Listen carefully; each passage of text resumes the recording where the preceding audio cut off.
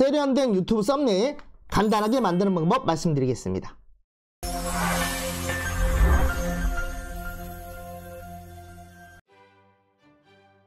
안녕하십니까 마케팅 길라잡이 5분 특강입니다. 오늘도 유익한 마케팅 팁에 대해서 말씀드릴 시간인데요. 오늘은 AI를 활용하여 유튜브 썸네일 무료로 쉽게 만들기 말씀드리겠습니다. 유튜브는 조회수를 올리기 위해서 썸네일을 잘 만드는 것이 매우 중요합니다.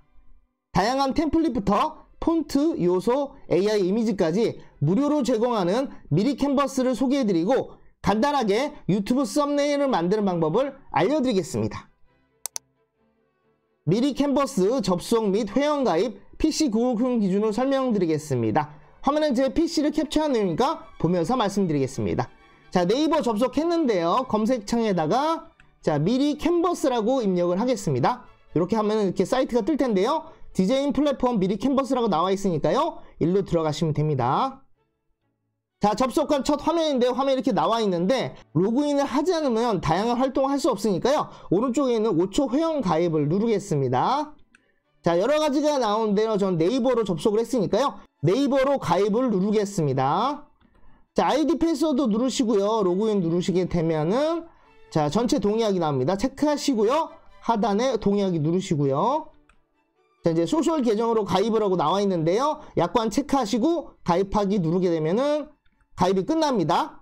로그인 유지하기를 누르셔서 계속 연결하시고요. 자, 처음 들어오게 되면 이걸 입력을 하게 되는데요. 어디에 사용할까요? 뭐 개인으로 좀 설정을 했고요. 자, 어떤 목적으로 쓸 건지를 설정하시고 다음 누르시고 자, 맞춤 서비스를 위해 정보 입력하세요. 성별이라든지 내 나이라든지 아니면 어떤 경로로 들어오는지를 체크하시고요. 완료 누르시면 됩니다. 이거는 처음만 하시면 돼요. 끝난 다음에 디자인 만들러 가기 누르시면은 바로 접속 화면으로 이동합니다.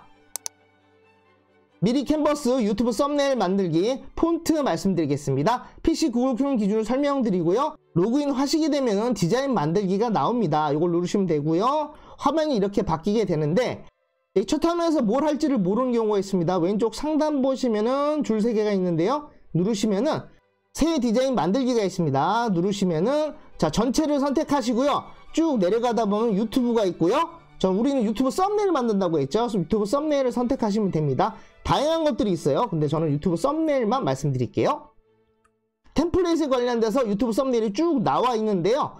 자, 템플릿이 너무 많다 보니까 특정 템플릿을 입력을 하셔도 됩니다. 검색하셔도 되고요. 쭉 내리다 보면은 옆에 이게 노란색으로 왕관이 있습니다. 이건 유료니까 선택하지 마시고요. 쭉 내리다 보면은 내가 마음에 드는 그 이미지가 있을 텐데 이걸 선택해서 템플릿이 이렇게 오른쪽에 나오는 걸 확인할 수 있습니다. 자, 이때 텍스트를 이렇게 선택을 하게 되면은 왼쪽에 폰트도 나오고요. 사이즈라든지 각종 요소들이 나옵니다. 글자 색깔도 바꿀 수가 있고요. 누르시게 되면은 자 여러 가지 폰트들이 쭉 나오는데요. 자 마찬가지로 왕관 들어있는 것은 유료니까요. 왕관 빼고 다른 걸 선택하시는 게 좋고요. 자 글자를 더블 클릭해서 변경할 수도 있고요. 자 다른 것 같은 것들은 변경을 했는데 글자 크게 너무 커서 사이즈를 작게 변경하셔도 됩니다. 자, 변경했고요. 이제 볼드도 집어넣을 수가 있죠. 자, 마찬가지로 오른쪽도 변경해서 폰트도 변경할 수가 있고요. 자, 밑에 있는 텍스트를 선택하시면은 자, AI 라이팅이라고 나오는 게 있습니다. 이걸 선택하시면은 자, 여러 가지 요소가 있는데요. 다시 쓰거나 이어 쓰거나 뭐 요약하거나 여러 가지 AI를 통해서 글자를 자동으로 변경할 수가 있습니다. AI가 글을 생성했어라고 나오고요. 글자를 변경했는데 원하는 대로 다시 한번 바꾸셔도 상관없습니다. 여러 가지 형태로 바꿀 수도 있고 내가 직접 입력할 수도 있겠죠.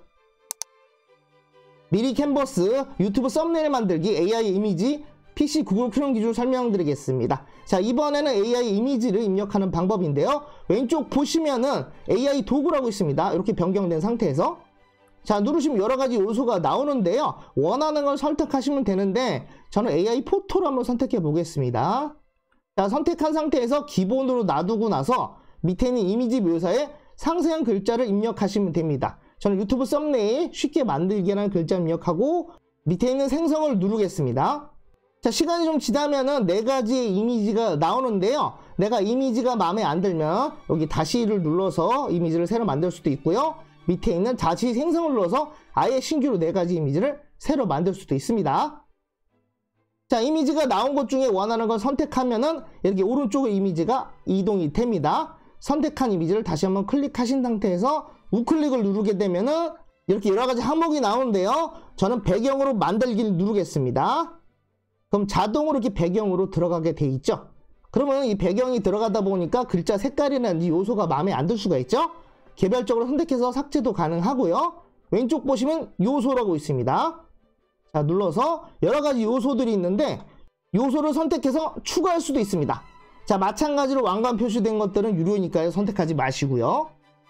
자, 다 끝나게 되면 오른쪽에 있는 다운로드를 누르시면 됩니다. 자, 여러 가지 항목이 있는데요. 밑에 있는 고해상도 다운로드를 누르시면 돼요. 나머지는 선택하실 필요 없고요. 고해상도 다운로드만 누르시면 됩니다. 자, 시간이 좀 걸리는데요. 다 끝나게 되면은 오른쪽 상단에 이미지가 나온 걸 확인할 수 있고요.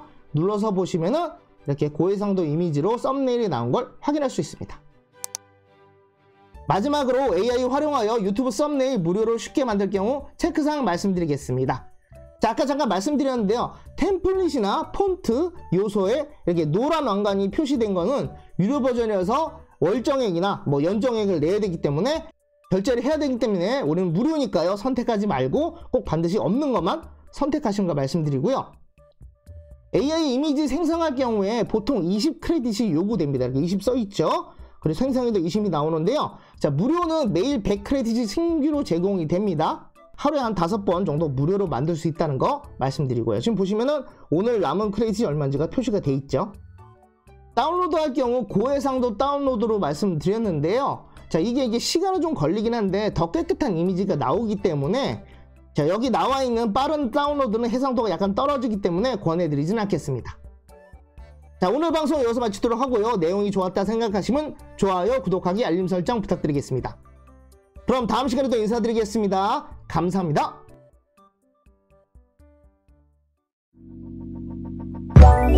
Let it go.